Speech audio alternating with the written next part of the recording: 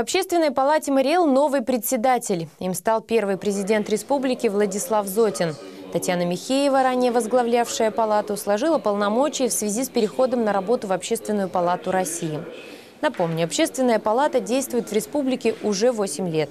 Она обеспечивает взаимодействие граждан с органами государственной власти и местного самоуправления. Существенную помощь в этом может оказать авторитет первого президента Мариэл. Я нисколько не сомневаюсь, что а, польза Владислава Максимовича а, будет в очередной раз принесена, а, и а, он а, пользуется авторитетом. Э, это э, непростая задача, э, которую все мы с вами э, от него ожидаем. Это э, задача э, политической, социальной стабильности, его авторитет в этом э, реально может, и не сомневаюсь, повторюсь, поможет. Поэтому, Владислав Максимович, хорошей вам продуктивной работы, удовлетворения от, этой, от этого поручения общественности. Но и мы с удовольствием будем с вами сотрудничать.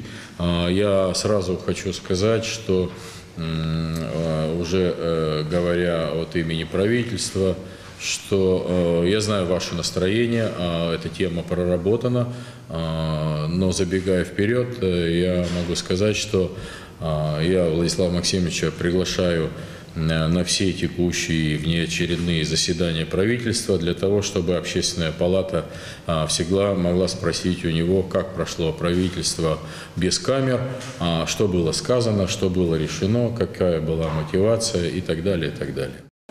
Одной из важных задач в работе общественной палаты станет более тесное взаимодействие с органами государственной власти, министерствами и ведомствами.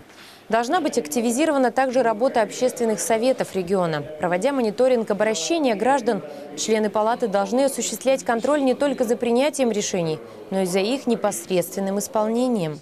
Это же народное доверие. Не только члены общественной палаты голосовали. Это, по сути дела, они представляют народ. Разные некоммерческие организации, э, другие организации, национальное движение и так далее.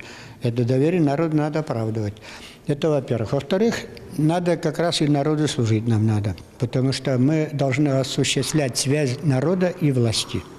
Потому что 11 представителей делегировано главой республики, 11 государственным собранием, остальные, значит, разными общественными прочими некоммерческими организациями.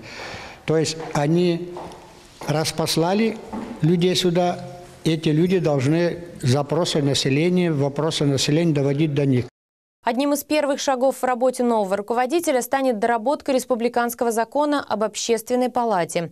Этот нормативный акт четко определит сферы интересов палаты и механизмы контроля за тем, как власть реагирует на обращения граждан и что она предпринимает для решения жизненно важных вопросов.